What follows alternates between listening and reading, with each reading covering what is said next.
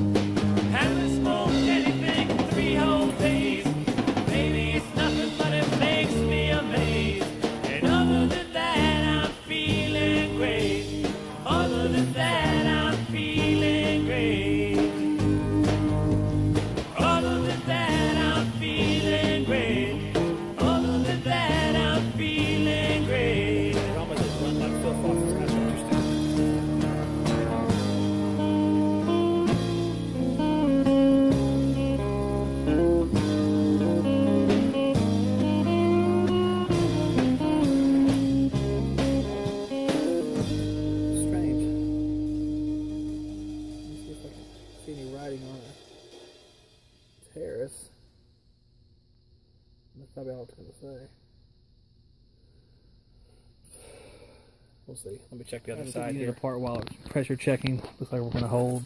We started out just over 150 pounds. We are. Let's see. Just over 150 pounds. We have some cleaning to do because she is nasty. I'm gonna vacuum out some of the big stuff, spray her down with coil cleaner, and clean it off. You guys got a stinky First mess here. I'm gonna put some vibration pads under the corners, get it off the ground about an inch. So when I clean it off with my gear down here, I'll make sure it drains out the bottom really nice instead of clogging up with dirt. Because there's a lot of heavy dirt inside of there. There's still some dirt inside of there I have to spray out, but I got all the big chunks out of there. My vacuum cleaner almost had an aneurysm. I'm gonna go ahead and get it propped up with these and we can get cleaned up. A lot of grungy crap on here. Just gonna go over the dirt one time, let it foam up real good. Around each side.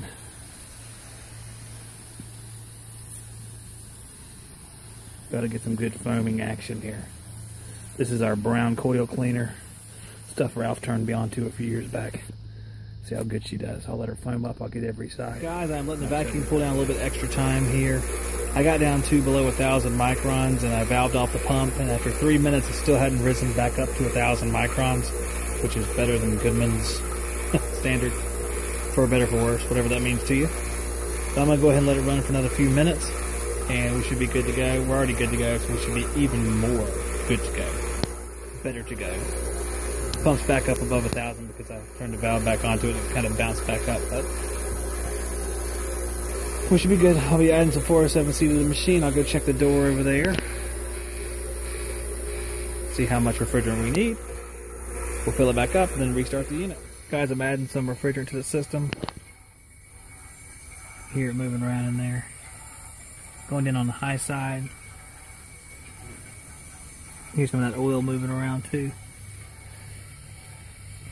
407C, basically very similar to R410A, except for this R134 in it too, that brings the pressure down. I think it's uh, made in the USA too. National Refrigerants.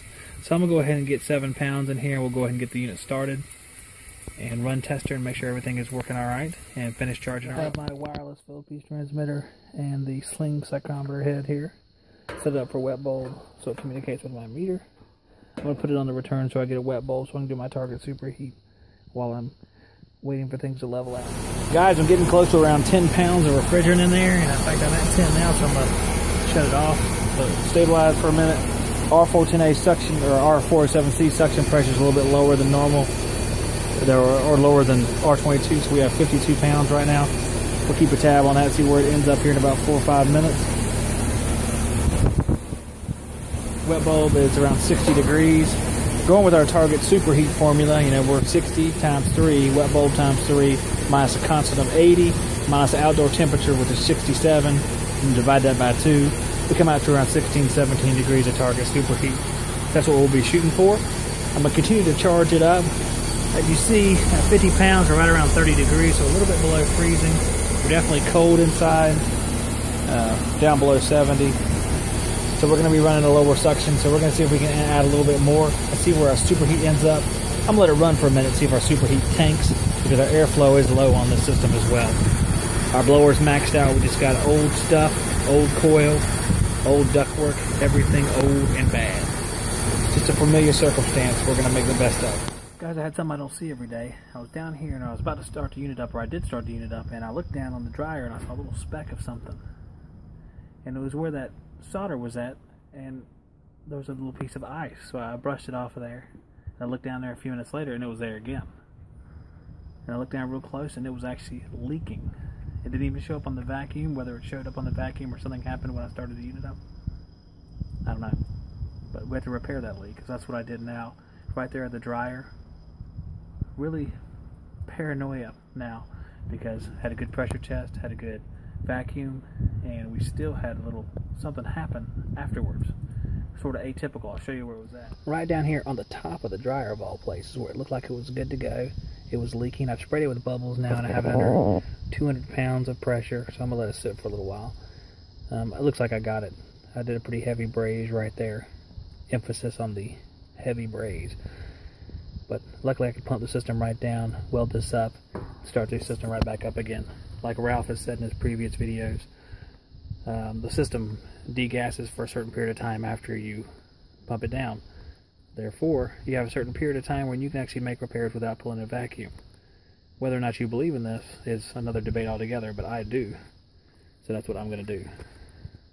Guys, I am heading home. I am picking up a check from my father's house. I did some work for him a little while back and I am picking up some stuff at the post office, my mail for today, which is usually five or six uh, bills, and then one payment. Welcome to the world of small business. I am done with that accumulator change with the surprise leak.